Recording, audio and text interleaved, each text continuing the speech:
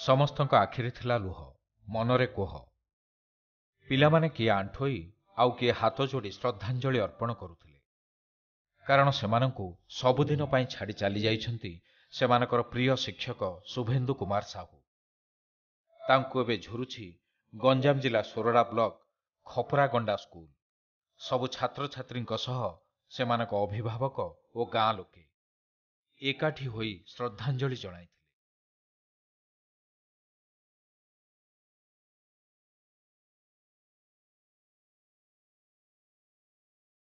ସାର୍ଙ୍କ ଅମର ଆତ୍ମାର ସଦ୍ଗତି ନିମନ୍ତେ ପ୍ରାର୍ଥନା କରିଥିଲେ।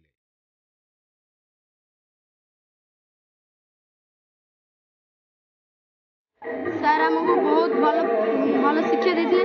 ସେଥିପାଇଁ ଆମେ ତାଙ୍କ ପାଇଁ ବହୁତ ଦୁଃଖିତ ଅଛୁ। ସମସ୍ତେ ତାଙ୍କ ପାଇଁ ଦୁଃଖିତ। କଣ ଶିକ୍ଷାଦାନ କରୁଥିଲେ? କେମିତି ଆପଣଙ୍କୁ ପାଠ ପଢାଉଥିଲେ ସେ ସାର୍? ସାର୍ ଆମକୁ ବିନା ଅର୍ଥ ବା ବିନା ପଇସା ନ ନେଇ ସେ ଆମକୁ ଟ୍ୟୁସନ୍ କରୁଥିଲେ। ଓ ବହୁତ ସ୍ନେହ ଦେଇ ପାଠ ପଢ଼ୁଥିଲେ। ଯାହାଫଳରେ କି ଆଜି ସାର୍ଙ୍କୁ ଆପଣମାନେ ଭୁଲି ପାରୁନାହାନ୍ତି। କିନ୍ତୁ ଏପରି ଶିକ୍ଷାଦାନ ଆଉ ପାଇବୁ ବୋଲି ଭାବୁଛନ୍ତି? ସେମିତି ତ ନା ଆଉ ପାଇବୁ ବୋଲି ଆଶା ବି ନାହିଁ। ଆମ ଗାଁର ତାଙ୍କ ବାପା ମାଆଙ୍କର ପୁଅ ନଥିଲେ ଆମ ଗାଁର ପୁଅ ଥିଲେ। ଆଉ ସମସ୍ତଙ୍କୁ ଠିକ୍ ଭାବେ ସ୍ନେହ ମମତା ଦେଉଥିଲେ ସମସ୍ତଙ୍କୁ ମା ଭଉଣୀର ସ୍ନେହ ମମତା ଦେଉଥିଲେ। ଆଉ ଆମ ପିଲାମାନଙ୍କୁ ବାପା ମାଆର ସବୁ ସ୍ନେହ ତାଙ୍କେ ଦେଉଥିଲେ।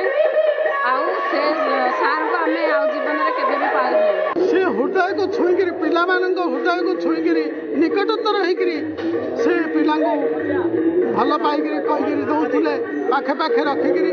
କାହାକୁ ହେଲେ କେବେ ହେଲେ ସେ ଶାରୀରିକ ଦଣ୍ଡ ବା ମାନସିକ ନିର୍ଯାତନା କେବେ ଦେବାର ମୁଁ ଦେଖିନି ମୁଁ କାର୍ଯ୍ୟ ସମୟରେ। ସାର୍ ବହୁତ ଉପକାରୀ ଲୋକ। ସେ ବହୁତ ଦିନ ହେଲା ଛଅ ବର୍ଷ ହେଲା ଆମ ସ୍କୁଲରେ ମାଷ୍ଟର ଥିଲେ। ବହୁତ ପିଲାମାନଙ୍କୁ ସେବା କରୁଥିଲେ। ଆମର ସପ୍ତମ କ୍ଲାସ୍ ପିଲାଠୁ ଯେ କଲେଜ ପଢ଼ିବା ପିଲା ପର୍ଯ୍ୟନ୍ତ ଟ୍ୟୁସନ୍ କରୁଥିଲେ। ବିନା ପଇସାରେ ଟ୍ୟୁସନ୍ କରୁଥିଲେ। ପିଲାଙ୍କର ବହୁତ ସେବା କରୁଥିଲେ। ଆମର ସ୍କୁଲ ଉଜ୍ଜଳ ରଖୁଥିଲେ।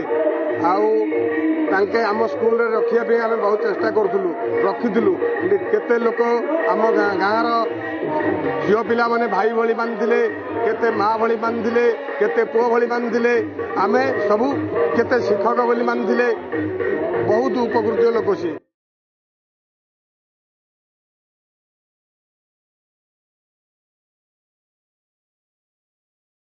ସୁଦୂର ମୟୂରଭଞ୍ଜ କପ୍ତିପଦାରୁ ଆସିଥିଲେ ଶୁଭେନ୍ଦୁ ସାର୍। ହେଲେ ଅଳ୍ପ ଦିନ ଭିତରେ ଖାଲି ସ୍କୁଲ ନୁହେଁ ଗାଁର ସମସ୍ତଙ୍କୁ ଆପଣାର କରିନେଲେ। ତାଙ୍କର ଅମାୟିକ ବ୍ୟବହାର ଓ ପରାମର୍ଶ ଥିଲା ସମସ୍ତଙ୍କ ପାଇଁ ମାନ୍ୟ। ପାଠ ଛାଡ଼ିଥିବା ପିଲା ବି ପୁଣି ଫେରିଲେ ସ୍କୁଲକୁ। ପିଲାମାନଙ୍କୁ ମାଗଣାରେ ଶିକ୍ଷାଦାନ କରୁଥିଲେ। ଗ୍ରାମରେ ବୃକ୍ଷରୋପଣ ଠାରୁ ଆରମ୍ଭ କରି ଅନେକ ସାମାଜିକ କାମରେ ବି ସାମିଲ ହେଉଥିଲେ ଶୁଭେନ୍ଦୁ ସାର୍। ବହୁତ ଗୁଡ଼େ ଶୂନ୍ୟସ୍ଥାନ ଅନୁଭବ କରୁଛି। ଯିଏକି ମୋର ଗୋଟେ କଲିକ୍ ଥିଲା ବୋଲୋକରାଟା ସେ ମୁଁ ଆସିଲେ ଆସିକି ସେ କ'ଣ କରିଦିଏ ନା ଚାରିଆଡ଼େ ସଫାସଫି କରି କବାଟ ଖୋଲିକିରି ସବୁ କରିଦିଏ। ଆମର ତାର ଏତେ ଥିଲା ଗୋଟେ ପାରା ସେଇଠି ରହୁଥିଲା ସେ ପାରାକୁ ଚଢ଼େଇକି ମଧ୍ୟ ସେ କେମିତି ରଖିବି ସାର୍ ଏଇଟା ପଡ଼ିଯାଉଛି ଆ ପାଇଁ କ'ଣ ଗୋଟେ ବ୍ୟବସ୍ଥା କରିବା ଏମିତି ମଧ୍ୟ ସେ ଭାବୁଥିଲେ। ଆଉ ଗଲା ଆସିକି ମଧ୍ୟ ମୁଁ ଗଲା ଆସିକି ମଧ୍ୟ ସେ ପରିବେଶଟାକୁ ଅତି ସୁନ୍ଦର ଭାବେ କୋଉଠି କବାଟ ପଡ଼ିଲା ନା ନାହିଁ କୋଉ ପିଲା କୋଉଠି ରହିଗଲା କି କ'ଣ ହେଲା ତନ୍ନ ତନ୍ନ କରି ଦେଖିକିରି ମୋତେ ଆସି ଖବର ଦେବାର। ତେଣୁ ଆଉ ବିଶେଷ କରି ଗଣିତ ସବଜେକ୍ଟଟାକୁ ସବୁ ପିଲାଙ୍କୁ ସେ ପଢ଼େଇବାର ଥିଲେ କିନ୍ତୁ ସେ ଆଜି ଏଇଠୁ ବିଦାୟ ନେବାରୁ ମୁଁ ବହୁତ ଗୁଡ଼ିଏ ଶୂନ୍ୟ ସ୍ଥାନ ଅନୁଭବ କରୁଛି। ହଠାତ୍ ସାର୍ ପଳେଇଲେ ଯୋଉଟାକି ଗ୍ରାମବାସୀ ସେମାନଙ୍କର ସମସ୍ତେ ଶୋକର ଛାୟା ଗୋଟେ ଗ୍ରାମରେ ଖେଳି ଯାଇଥିଲା ଏବଂ ପିଲାମାନେ ମଧ୍ୟ ତାଙ୍କ ସମ୍ମୁଖୀନ ହେଇଥିଲେ। କ'ଣ ଏମିତି ସିଏ ଆମ ଗାଁକୁ ଆସିଥିଲେ ଦୁଇ ହଜାର ତେର ମସିହାରେ ଜଏନ୍ କରିଥିଲେ। କିନ୍ତୁ ଆମ ପିଲାମାନଙ୍କ ପାଇଁ ସେ ଏତେ ମାନେ ଗୁରୁ ନଥିଲେ ସେ ଜୀବନ ହେଇଯାଇଥିଲେ। ସମସ୍ତଙ୍କ ପାଇଁ ସେ ଦେବତା ହେଇଯାଇଥିଲେ। ଆମ ପିଲାମାନଙ୍କୁ ବହୁତ ଭଲ ଶିକ୍ଷା ଦେଉଥିଲେ। ସେ ଆମ ପିଲାମାନଙ୍କ ପାଇଁ ମାନେ ଟ୍ୟୁସନ୍ ଏଇଠି ସବୁ ମାନେ ପଇସା ବିନା କମ୍ ପଇସାରେ ପିଲାମାନଙ୍କୁ ଟ୍ୟୁସନ୍ କରୁଥିଲେ। ଆଉ ଆମ ପିଲାମାନଙ୍କୁ ବହୁତ ଭଲ ଶିକ୍ଷା ଦେଉଥିଲେ। ତାଙ୍କ ସ୍ଥାନ କେହି ପୂରଣ କରିବେନି। ମାନେ ସେ ଏତିକି ଭଲ ନ ହେଇଥିଲେ ଆମ ଗାଁର ଷାଠିଏ ସତୁରି ଜଣ ଲୋକ ମୟୂରଭଞ୍ଜ ଜିଲ୍ଲାକୁ ମାନେ ତାଙ୍କ ଶବ ସତ୍କାର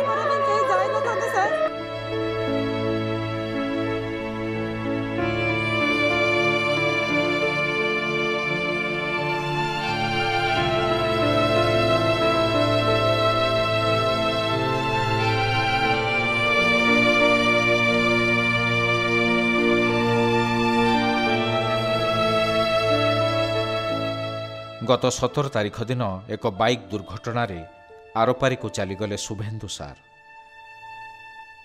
ସାରା ଗାଁ ତାଙ୍କ ପାଇଁ କାନ୍ଦିଲା। ଏମିତିକି ଛାତ୍ରଛାତ୍ରୀଙ୍କଠାରୁ ଆରମ୍ଭ କରି ଗାଁର ବୁଢ଼ାବୁଢ଼ୀ କେହି ବି ବାଦ୍ ପଡ଼ିନଥିଲେ ସମସ୍ତଙ୍କୁ ଲାଗୁଥିଲା କେହି ଜଣେ ଯେମିତି ନିଜ ପରିବାର ଲୋକ ଶୋକ ସାଗରରେ ଭସାଇ ଚାଲିଗଲା। ସେଥିଲାଗି ତାଙ୍କୁ ଝୁରୁଛନ୍ତି ଏଇ ଗାଁର ଆବାଳ ବୃଦ୍ଧ ବନିତା। ସତରେ କର୍ମରୁ ହିଁ ଚିହ୍ନି ହୁଏ ଜଣେ ମଣିଷକୁ। ଆଉ ସେମିତି ଜଣେ ମଣିଷ ଥିଲେ ଶୁଭେନ୍ଦୁ ସାର୍। ଗଞ୍ଜାମ ଜିଲ୍ଲା ସୋରଡ଼ାରୁ ସଞ୍ଜୀବ ପଟ୍ଟନାୟକଙ୍କ ରିପୋର୍ଟ କେ ନ୍ୟୁଜ୍।